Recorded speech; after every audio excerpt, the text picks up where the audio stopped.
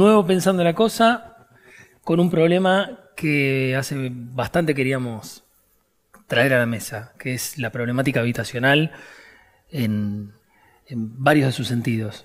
Escuchamos hablar de déficit habitacional, de, programas de vivienda, de lucha por la tierra, es decir, todos vectores de, de, una problemática que al mismo tiempo nos hace pensar en la coyuntura y en una serie de agendas y en, problemas filosóficos de primer orden, digamos, ¿no? De qué significa habitar, ¿no? Qué significa convivir, qué significa producir convivencia, ¿no?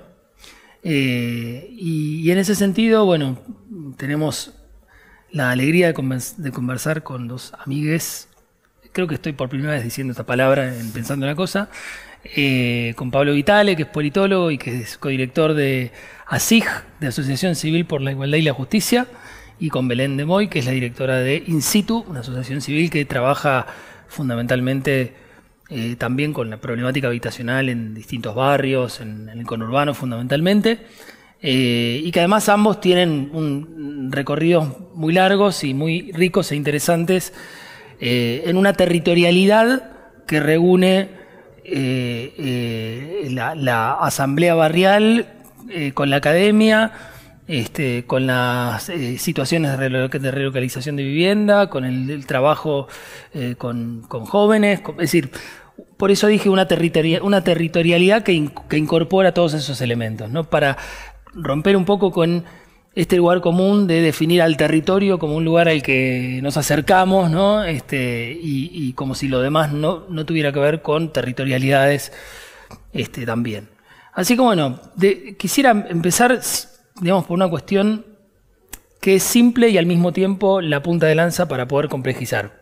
Que es, ¿De qué hablamos cuando hablamos de problemática habitacional? Digo esto porque antes hablábamos, antes de arrancar, hablábamos del reduccionismo, que significa que eh, cuando se habla de una política pública, ¿no? Eh, en términos de construcción de vivienda, cuando nos tiran números por la cabeza. ¿no? Hicimos tantas viviendas, el gobierno que más hizo, el que menos hizo, ¿no? y pareciera que ahí se termina el problema, y en realidad, eh, decía Pablo, bueno, esto no es más que un latiguillo que es el síntoma de la reproducción del problema. ¿no? Bueno, entonces, ¿de qué hablamos cuando hablamos de problemática habitacional? Ahí se van tirando. Ahí empieza la disputa de quién empieza. Para ir alternando. bueno, como bien decías, eh, la problemática habitacional claramente es compleja eh, y algo que me parece como inicial para, para arrancar es que el problema habitacional no es de la habitación, no es solamente el problema de la vivienda en sí, sino que tiene que ver con la ciudad, con el acceso a la ciudad y con los modos en los que se produce y reproduce la ciudad. ¿no? O sea, después los problemas de la vivienda en sí son problemas, si se quiere, como más particulares, pero eh, el origen del problema tiene que ver con los modos de producción de, esa ciudad. Eh, en ese sentido, me parece hay algo que también es como básico, que es que, si bien está eh, reglamentado en nuestras constituciones a nivel nacional, de la ciudad, de las provincias, etcétera, que el acceso a la vivienda o a un hábitat digno está dentro de los derechos básicos, a diferencia quizás de otros derechos que no están tan discutidos, eh, por lo menos dentro del sentido común o de la agenda.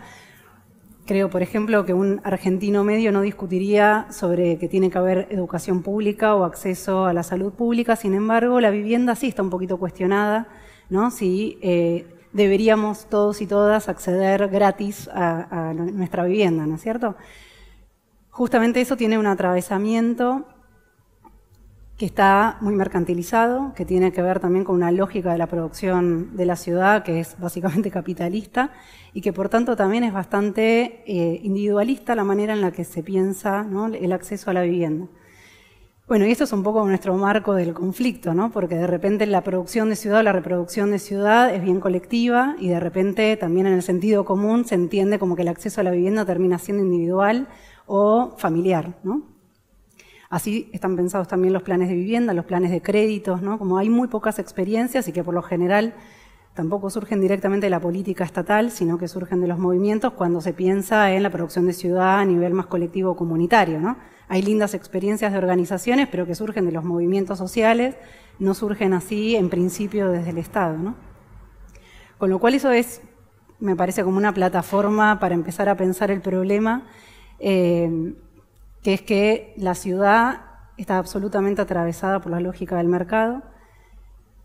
Y yendo quizás un poco a, nuestros temas, con Pablo trabajamos fundamentalmente en más temas de hábitat popular, eh, trabajamos en villas, asentamientos, conjuntos habitacionales, eh, o lo que los estudios urbanos llaman como la ciudad informal, mm. justamente porque no cumplen con la forma que la ciudad espera que se tenga. Parte del problema es que esos enclaves o esas zonas informales en realidad se generan justamente por ese modo de producir la ciudad formal, ¿no? Entonces, como recién mencionabas, eh, ¿qué pasa cuando un Estado, cuando un gobierno anuncia que se construyeron tanta cantidad de viviendas? Bueno, más allá de que puede ser beneficioso y que siempre la construcción de viviendas puede ser favorable para cierto sector de la ciudad. Lo cierto es que los problemas habitacionales se van a seguir reproduciendo y que van a seguir existiendo en la medida en que no se toque la matriz también de las formas de producción y de reproducción de la ciudad. ¿no? Mm. Entonces el Estado siempre aparece como atrás del problema constantemente. Eh, produciendo vivienda nueva, que eso después trae también una serie de complejidades, cómo se implementa en territorio, cómo se eligen esas familias, siempre ese stock de viviendas es escaso, ¿no? Para la escala que tiene la problemática, pero pocas veces se toca como la fibra eh, más eh, de la causa, la, fibra más sensible donde, por dónde pasa el problema del acceso al hábitat o a, la ciudad o a la, vivienda más particularmente. Es como la problemática de vivienda reúne al mismo tiempo una cuestión de escala que es brutal, ¿no? porque estamos hablando de mucho espacio, de muchos recursos de todo tipo, ¿no? económicos este, principalmente, y al mismo tiempo se juega ahí la intimidad de las vidas, ¿no? es decir, están como cruzadas esas dos cuestiones. Bueno, ¿qué, ¿cómo sería esa matriz, digamos, no me pregunto, eh, o, matrices, digamos, de reproducción, este, y, cómo desanudar ese problema? Sí, bueno, retomando un poco esta, esta idea, eh, este, este cruce de lo doméstico, de lo que aparece como algo individual, de lo que aparece como una atribución exclusiva de las familias, de las personas, etcétera, y su dimensión colectiva, lo que está un poco puesto en cuestión también con, con el acceso a la vivienda y el acceso a la ciudad, ¿no? Esto, esto, que, decía Abel es muy importante, digamos. Cuando hablamos de vivienda, pensar las cuatro paredes y un techo aisladas del lugar en el que se emplaza no tiene ningún sentido. Y es en general como se piensan también las políticas de vivienda, ¿no? Lo importante son las cuatro paredes y un techo, no importa que sean en la periferia cuando en realidad la vivienda tiene sentido en la medida en que permite acceder a salud, a educación, a trabajo, a los diferentes eh, bienes y servicios que provee la ciudad y que fueron construidos colectivamente, y que paradójicamente o, concomitantemente son los que le dan el valor de precio de suelo a las viviendas que sirven para la especulación inmobiliaria y que cercenan el acceso a la vivienda con, su fin de uso. Entonces, toda esa lógica se empieza a revertir cuando empezamos a entender la complejidad del problema y empezamos a, como decía Bela, atacar o a, responder a una lógica de reproducción y producción de la ciudad que es tan desigual como la sociedad misma. Hay, una idea de la sociología urbana que es que la, ciudad es una expresión espacial de las relaciones sociales. Entonces, en relaciones sociales desiguales hay una distribución también desigual de los recursos urbanos y habitacionales y si no se orada en esa desigualdad en la distribución de origen, difícilmente se pueda resolver a, la necesidad de fondo. ¿no? Y lo que vemos en la ciudad es este complejo mezclado de producción fundamentalmente mercantil, que muchas veces está orientada al resguardo de, valor. ¿no? Nosotros vemos cotidianamente en la ciudad ahorro en ladrillos, ahorro seguro y rentable, digamos, esa propaganda que tenemos naturalizada mm. es una propaganda que viene inmediatamente asociada a que un montón de gente no pueda acceder a la vivienda. Y nos parece natural. Incluso los gobiernos cuando hacen inversión pública que redunda en el crecimiento de los precios de suelo es festejado. Y ese crecimiento de precios de suelo expulsa gente. Y, es una inversión pública colectiva. Y dolarizado. Además. Además dolarizado, desde la dictadura. Dolarizado desde la dictadura creció exponencialmente en los últimos años, ensanchando la brecha entre el poder adquisitivo de salario y el acceso a la vivienda. Y bueno, y todo esto cuando queda librado al acceso este, fundamentalmente mercantilizado, lo que genera es expulsión. La respuesta estatal, como veníamos diciendo, es exclusivamente paliativa o regulariza aquello que ya fue producido por las propias personas, como las villas, asentamientos, o provee vivienda, muchas veces con esta lógica periferizada, de baja calidad urbana, eh, y siempre por detrás del problema hay una escala que no puede eh, corresponderse con la necesidad que se viene manifestando. Y por otro lado, esta producción social que este, viene siendo cuestionada, que muchas veces es vista como una anomalía. Nosotros tenemos muy poco integrado al imaginario urbano de nuestras ciudades en la Argentina en general y de, de Buenos Aires y el área metropolitana, las villas asentamientos. Y hoy cubren a más del 10% de la población que no tiene otro lugar más, que vivir en, villas asentamientos. ¿no? Otros lugares de América Latina están más incorporados al imaginario.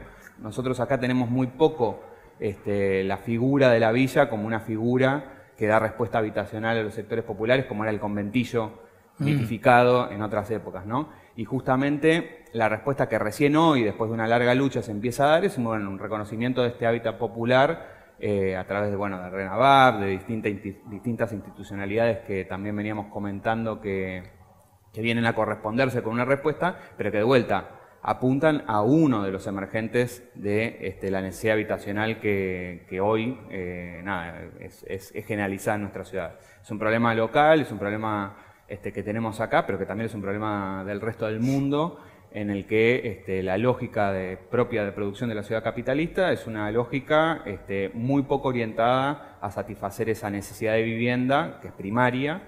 En, la pandemia se puso nuevamente de manifiesto el quedate en casa, digamos, la forma de prevención más básica, que estaba justamente supeditada a las posibilidades que tuvieran las familias o las personas, digamos, de, de acceder a esta vivienda a través del, mercado. Y estas limitaciones se ponen, este, nada, cuestionan también la lógica de propiedad privada por sobre la, necesidad y los derechos.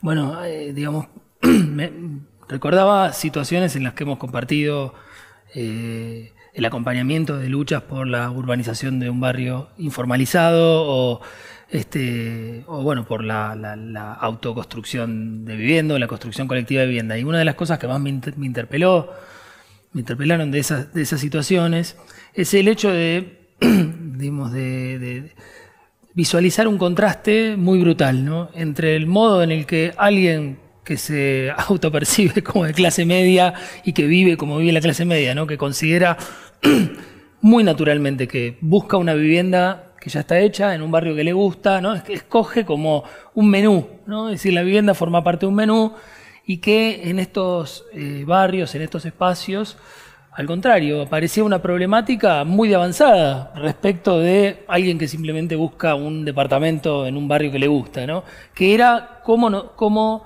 nos inventamos la, el hábitat, ¿no? es decir, cómo lo producimos y en ese cómo lo producimos hay una forma de procesar la conflictividad, hay una forma, es decir, políticamente una riqueza ¿no? que de ninguna manera es posible percibirla en los, en los 100 barrios porteños, para decirlo con una frase hecha, y que, sin embargo, en estos lugares que, como decís vos, están, aparecen, digamos, bajo la sombra de la indiferencia, sin embargo, ahí hay una producción política de la idea del hábitat y de la vivienda, ¿no?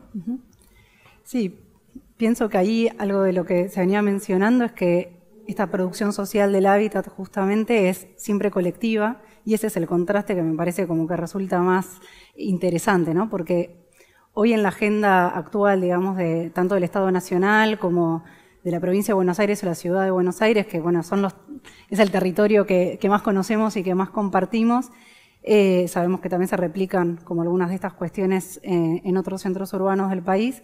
Eh, lo cierto es que hoy se instaló la problemática, digamos, de las villas y asentamientos a través de este nombre que se le empieza a llamar a la urbanización de villas, que es la integración social y urbana de los asentamientos populares, y que eso justamente se pone en agenda y el Estado recoge el guante de esa situación gracias también a toda esta movilización colectiva a la que hace referencia, que tiene que ver con la producción propia del territorio, ¿no? la materialización de la construcción de viviendas, pero que también levanta una bandera sobre eh, la formalización o el acceso a servicios, el acceso a equipamiento social y urbano de, las ciudades.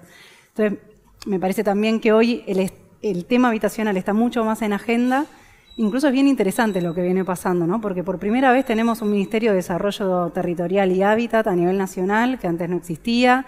Eh, tenemos organismos específicos de integración social y urbana a nivel de la provincia, tenemos organismos específicos que trabajan la cuestión más allá del Instituto de Vivienda Histórico, digamos, de, la ciudad.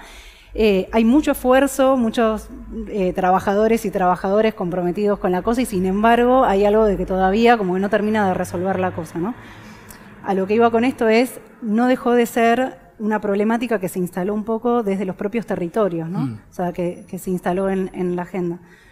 Hoy un poco lo que también es una agenda que venimos compartiendo eh, con Pablo y con otros compañeros y compañeras es que el nuevo tratamiento que le da el Estado, ya sea, bueno, fue más explícito o más brutal a nivel de la ciudad de Buenos Aires, ¿no? pero que viene pasando en toda la, eh, la región, es que de repente, históricamente veníamos como levantando la bandera de la urbanización de villas y el acceso a servicios, y de repente aparece la reta o sea, aparece el gobierno de derecha urbanizando las villas, ¿no? Cabe aclarar que no todas, que justo algunas que están en lugares muy estratégicos, ¿no? Que eso, bueno, fue, justamente parte del problema, que nos encontramos como, bueno, de repente, ¿qué está pasando? Hay presupuesto para villas, o sea, pasamos del el discurso macrista de vamos a desalojar la 31 a vamos a urbanizar la 31. Eh, y eso nos enfrentó a las organizaciones sociales, a quienes venimos como militando en los territorios sobre la cuestión habitacional, nos corrió como un poco de eje, ¿no? Y de repente, como dice Pablo, se sofisticó de repente el debate, porque de levantar la bandera de la urbanización o del acceso al hábitat o el acceso a servicios, de repente estábamos discutiendo cómo se daba esa discusión, ¿no? Y me parece que eso es un poco el debate que tenemos hoy en la actualidad, ¿no? De repente hay un ministerio a nivel nacional que tiene un área de políticas de suelo, justamente entendiendo que la problemática no se resuelve con, más construcción de vivienda nueva.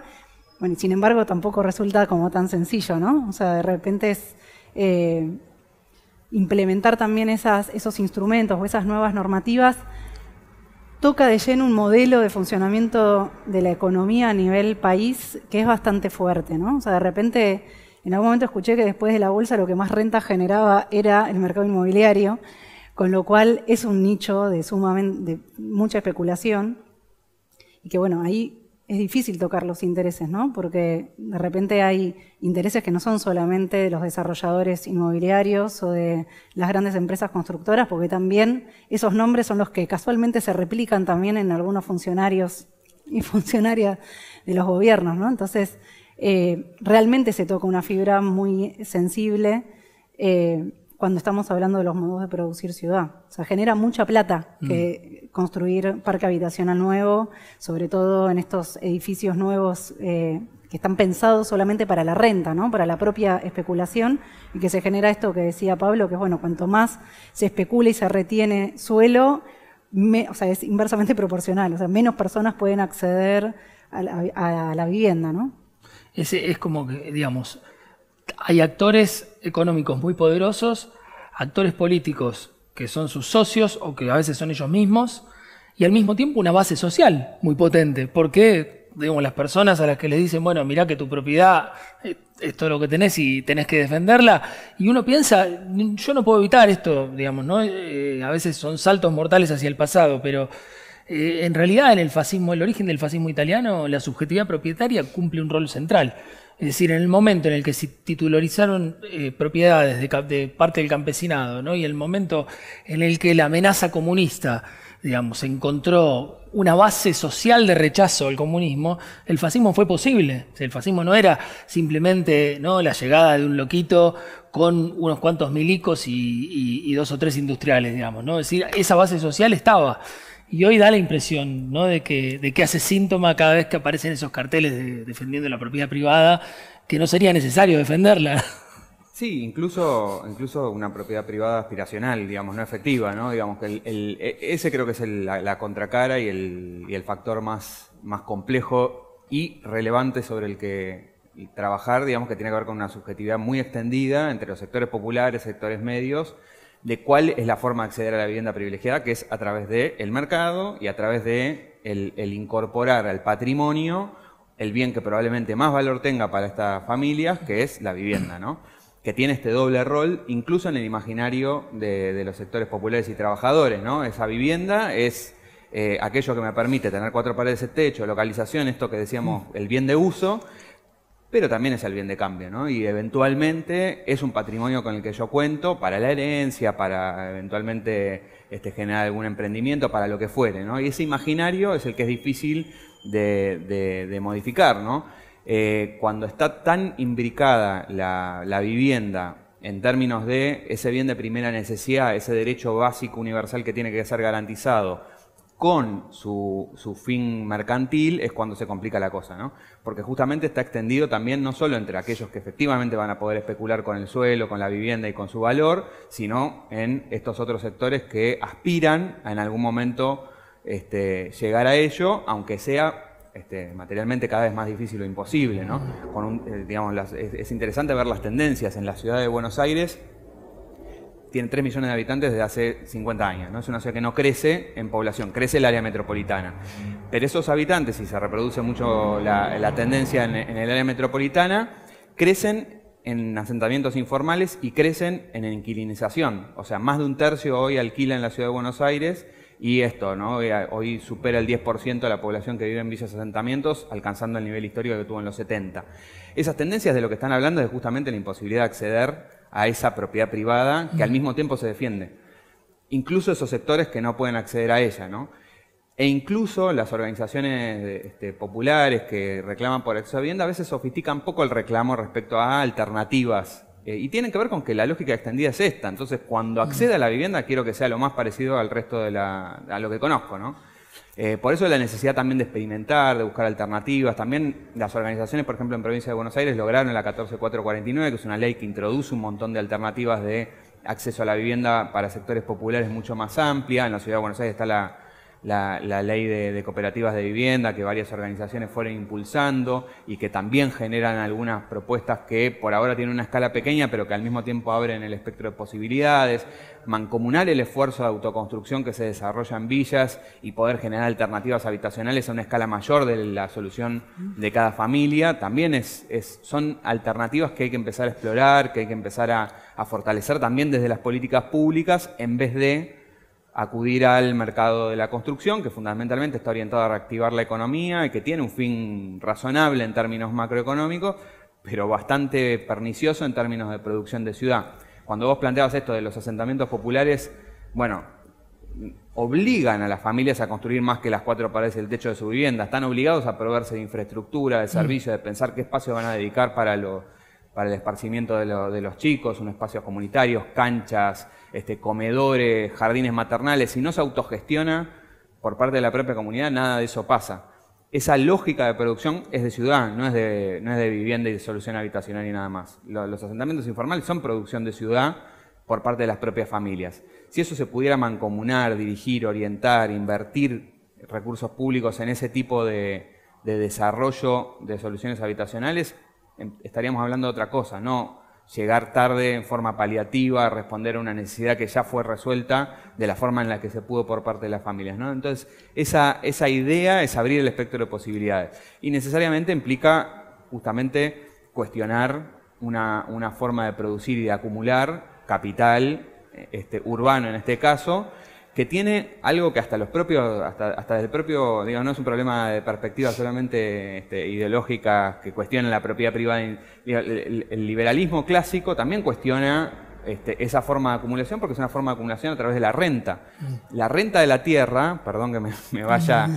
este, de tema, pero tiene que ver con apropiarse de una inversión colectiva que no tuvo nada que ver con el propietario de ese inmueble o de ese suelo. Mm. Porque vos lo comprás con toda esa provisión de servicios de infraestructura, que es lo que lo valoriza. Toda esta lógica de, bueno, invierto en un terreno, espero a que se le llene de, servicios alrededor y después lo vendo. Toda esa diferencia de precio que pagué y precio que adquiero no es mérito del propietario, digamos, ni siquiera hay meritocracia ahí. Es lo contrario de la meritocracia. Es hacerse de una inversión colectiva en forma individual y con fines diferentes a los que tendría que responder ese bien escasísimo que es el suelo urbano. Es un bien escaso por definición, a diferencia de otros que pueden ser reproductibles. El suelo no se puede reproducir al infinito, tiene límites. y esa apropiación privada individual termina cercenando derechos básicos de, otras personas, ¿no? Volviendo a la misma idea. No, y, eh, sería, no, no es la meritocracia, sería como la garcocracia, digamos, para poner neologismos, y como contraposición a esa garcocracia, ¿qué mm, eh, experiencias se, podrían mencionar o si les viene, o, que estén laburando en este momento, experiencias desde abajo que, que tengan algún interés en relación a esta discusión, porque hay, hay muchas experiencias ¿no? de, construcción de, espacios colectivos y también en la relocalización, que es otra problemática que, que, Belén tiene más, tiene mucha experiencia en eso y me parece que es muy interesante porque muchas veces el imaginario piensa, bueno, salimos de esta situación ¿no? de manera estanca a esta otra situación, eh, eludiendo toda idea de toda noción de proceso. ¿no? y la relocalización casi que generaría la tentación de replicar ese razonamiento, ¿no? Mira, esta gente la sacamos de acá y la ponemos acá, ¿no? Y es, bueno, todo lo contrario, ¿no? Todo lo contrario.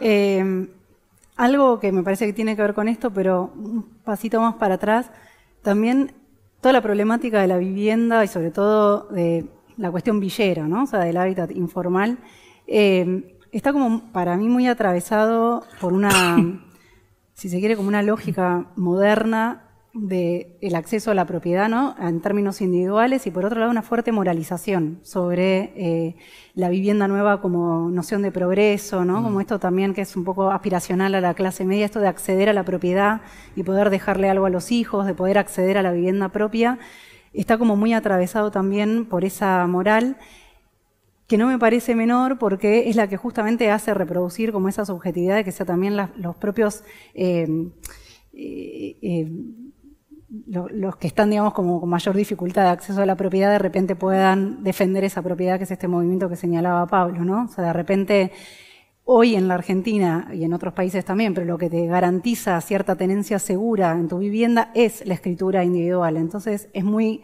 complejo que no teniendo experiencias de seguridad en la tenencia, siendo inquilino o, viviendo en una casa colectiva y que no te vayan a desalojar en algún momento o que no te vayan a eh, garantizar la renovación de tu contrato, es difícil que eh, uno pueda decir, sí, queremos una tenencia más precaria ¿no? de la titularización. Con lo cual, ahí hay algo que tiene que ver con lo cultural, pero que tiene que ver también con la precariedad que demuestran otras formas también formales de acceso a la vivienda, como puede ser el alquiler, y que en otros países de repente hay permanencia estable en, el acceso a la propiedad, en el acceso a la vivienda, perdón, a través del alquiler. Como no tenemos esa experiencia, está desjerarquizado ¿no? Mm. el acceso a la, propiedad a través de, o a la vivienda a través de, del alquiler u otras formas de tenencia. En ese sentido, como bien decía Pablo, también la ley de acceso justo al hábitat fue una de, por lo menos en la provincia de Buenos Aires, que pone de relieve justamente esto que es la función social de la propiedad. ¿no? O sea, bueno, beneficiémonos todos y todas de lo que hacemos colectivamente para producir ciudad, entendiendo que nadie la hace solo la ciudad, sino que la hacemos de manera colectiva. Y hay algunos instrumentos para empezar a, a explorar y que todavía están tímidos en exploración porque justamente tiene que ver con tocar un poquito estos intereses, ¿no? Y ahí sí vuelvo a las experiencias concretas, eh, justo en el marco de estos procesos de llamados de integración social y urbana, tanto Pablo como yo venimos trabajando con, bueno, con otros compañeros y compañeras en acompañar estos procesos que son bien complejos porque por un lado implican procesos de relocalización a vivienda nueva, que eso, como bien decís, es todo un problema en sí mismo, ¿no? de suma complejidad, y por el otro también tiene que ver con las porciones de macizo, como se le llaman en la jerga, ¿no? que es la, porción de villa eh, que queda eh, sin relocalizar, que debe asumir como ciertas modificaciones para que pueda ser formal y recibir, por tanto, la escritura. ¿no? Entonces, ahí hay un, todo un debate también sobre qué es lo que se formaliza, qué es lo que se titulariza, porque también dar título de propiedad a una vivienda que no cumple con todas las exigencias de una vivienda adecuada, una vivienda saludable, es un riesgo también porque esa vivienda empieza a entrar en el circuito formal del mercado inmobiliario, entonces pasamos del temor del desalojo forzoso a un desalojo sutil, ¿no? También un barrio formalizado que tiene servicios formales de repente levanta el valor del suelo y esa vivienda puede empezar a tener impuestos más caros, puede empezar a tener los productos de los comercios de cercanía más caros y una familia, por más que no tenga una orden de desalojo, quizás se ve imposibilitada de seguir viviendo en su propia vivienda porque no puede sostener el costo de vivir en esa vivienda formalizada. Esto es un problema nuevo de la agenda actual, ¿no? O sea, de repente no era el problema que teníamos hace unos años, es un problema producto también de los avances de la integración social urbana quizás no cuidada en esos sentidos, ¿no? que no esté mm. atravesada por la situación socioeconómica de las familias y que no haya estos instrumentos de protección del acceso al suelo. Y para eso hay algunas normativas que favorecen, quizás no sé si una eh, propiedad colectiva, que a veces suena un poco soviético y genera un poco de temor, eh, pero que sí deberíamos poder ser un poco más creativos y explorarlas porque serían lo que realmente eh, imposibilite un desalojo eh, indirecto, ¿no? O sea, bueno, de mm. repente no es que me están echando, pero las condiciones del entorno me obligan a tener que irme a un lugar más precario porque yo no puedo bancar más mi vida en, este contexto, ¿no? O sea, porque de repente todo lo que está alrededor, no puedo pagar más los impuestos, no puedo pagar la luz, no puedo pagar los servicios, etc. La otra cuestión son las relocalizaciones, que también tienen como su propia problemática, ¿no? O sea, ahí haciendo un poquito de, de foco. Eh, por un lado hay como todo este imaginario, esta idea de que la vivienda nueva construida por el Estado, como cumple con ciertos parámetros también urbanísticos, arquitectónicos, va a ser mejor que lo que produjo la familia con sus posibilidades en, en la villa o asentamiento. Y lo cierto es que nos encontramos con las dificultades, que bueno, en la villa se habita de una manera, que justo arrancaste hablando de que el verdadero problema, digamos, eh, la, cuestión, el centro de la cuestión tiene que ver justamente en eh, cómo se da el habitar, ¿no? De, las personas en, general. Y lo cierto es que hay una dimensión que obviamente tiene que ver con la materialidad o con las condiciones físicas de la vivienda, pero que también tiene que ver con esas prácticas del habitar, con el despliegue de lo que se es en ese estar, ¿no? O sea, en sentido, cómo nos subjetivamos en el espacio que construimos. Y en ese sentido hay como una tensión, para decirlo de algún modo, que tiene que ver con haber habitado mientras se fue construyendo esa vivienda con el esfuerzo propio, que eso también está cargado, si se quiere, de alguna moral, pero eh, que está teñida por lo menos de ir armando, según lo que se podía, con los recursos disponibles, una vivienda que fue la que se fue haciendo como un poco a imagen y a, y a necesidad y a deseo de lo que la familia podía, contra una experiencia de habitar completamente diferente, que es una vivienda ya terminada y en general sin plasticidad para hacer ninguna modificación. ¿no? La vivienda, tal como te la entrega el Estado, muy pocas veces tiene posibilidades de modificarla muchísimo, más en Ciudad de Buenos Aires, en algunos lugares del conurbano, donde se trata de vivienda en propiedad horizontal, en edificios, donde hay menos que menos se puede alterar eh, la construcción. ¿no? Entonces, de repente tenemos familias que tienen su propio comercio en la vivienda y que al mudarse a una vivienda que es solo de uso residencial, se queda sin la posibilidad de tener su comercio en la vivienda. Hay muchas familias que son cartoneras, como se llaman en los barrios, que son recuperadores urbanos y que necesitan un espacio, por ejemplo, para el acopio de sus materiales. O nos ha pasado también en la propia ciudad de Buenos Aires contar con población que tiene caballos para eh, hacer su trabajo y de repente se mudan al complejo habitacional y pone la caballeriza en el medio del espacio común de un complejo habitacional que desde el vamos no estaba pensado ni para un uso comercial ni para eh, menos que menos una caballeriza instalada en el medio de la ciudad nueva formal, ¿no es cierto? Entonces eso genera como muchas tensiones eh, que hay que acompañar y que hay que tener en cuenta y que hay que diseñar dentro del margen de las políticas de relocalización. Hay algo como muy a grandes rasgos, pero que hemos trabajado en algunos protocolos o en algunos documentos, en algunas guías metodológicas de cómo eh, abordar estos procesos que tienen que ver mínimamente con entender que son procesos complejos que se desarrollan en el tiempo, que empiezan mucho antes de la mudanza y que terminan mucho después de que la mudanza se, se efectuó. Ahí en particular trabajamos mucho con lo que es la organización consorcial y comunitaria post-relocalización, justamente porque bueno, se arma un hábitat colectivo que a veces en el hábitat anterior hay una lucha por el acceso a esas viviendas o por la urbanización y que de repente justamente por esta lógica tan individualizada ¿no? de, del acceso a la vivienda, cada uno una vez que entró a su departamento, que entró a su vivienda, se, se rompe, digamos, esos lazos mm. colectivos que, se habían logrado con otros fines ¿no? en, en el hábitat anterior. Entonces ahí un poco nuestro laburo, más desde la trinchera, si se quiere, tiene que ver con trabajar esa organización comunitaria, porque el habitar nunca es individual, el habitar siempre es colectivo, siempre es comunitario, siempre vivimos con otros y con otras, y también un poco nuestra premisa de laburo es que no se mejora solo la calidad de vida con una mejor eh, vivienda en términos materiales, sino fundamentalmente con una buena convivencia en términos de, tener una buena comunidad, de tener un buen común. ¿no? Mm. Eh, los soviets consorciales, ¿no? Decirlo. Perdón que te retome esa palabra que la dijiste y me quedó impregnada en el corazón. Entonces, este, no, pero me parece que lo consorcial, que es una palabra que en el caso de un edificio cualquiera de nuestra ciudad, aunque yo ya no vivo en la ciudad, de la ciudad de ustedes. Ah, no, vos tampoco. Cierto, tu ciudad.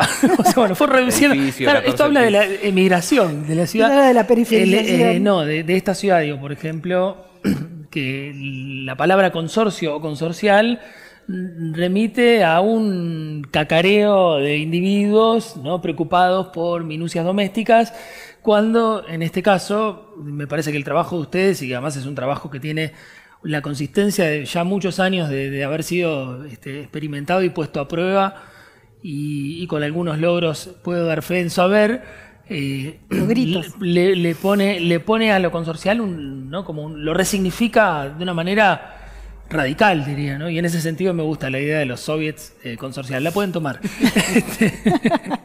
y, no, pensaba, eh, uno de los temas que el año pasado, nos, uno de los grandes problemas que el año pasado nos interpeló fuertemente y acompañamos y, y bueno, y formamos parte de alguna manera, fue básicamente la, la lucha por la tierra en Guernica que fue la expresión en realidad más resonante de, un conjunto de conflictos que se fueron dando en toda la provincia de Buenos Aires, pero también en Córdoba y en otros lugares, y que tienen una larga historia, por lo tanto no estamos diciendo que, es a partir de Guernica, pero sí Guernica logró, por el modo en el que se dio esa lucha, visibilizar esa lucha por la tierra, ¿no? y visibilizar con eso eh, no solamente el déficit habitacional, la situación desesperante de un montón de, familias y de personas eh, eh, en general, sino que al mismo tiempo nos dejó ver la potencialidad que tiene la organización popular a la hora de imaginar un tipo de ciudad.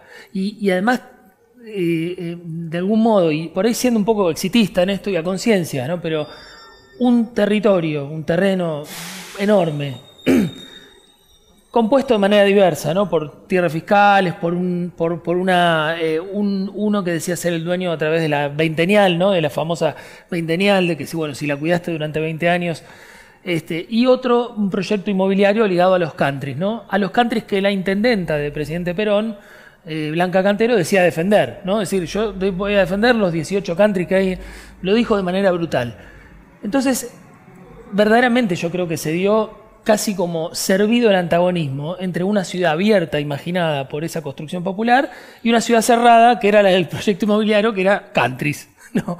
Es decir, eh, me pareció muy brutal el caso de, Guernica en ese sentido. ¿no? Y cómo el propio gobierno, volviendo a hablar de los soviets, no se tuvo mejor idea que decir que ahí estaba lleno de zurdos, digamos, y un macartismo de ocasión le sirvió como uno de los argumentos ¿no?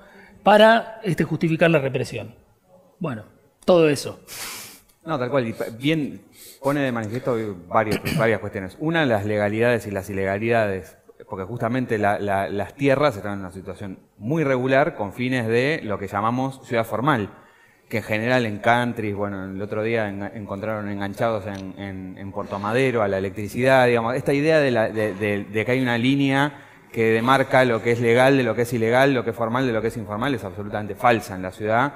Está lleno de hábitat eh, de élite informal mm. en términos de, su ajuste a la normativa. Está lleno de vulneraciones al código urbanístico por parte de los sectores más acaudalados, pero jamás se nos ocurriría decirles informales, ¿no?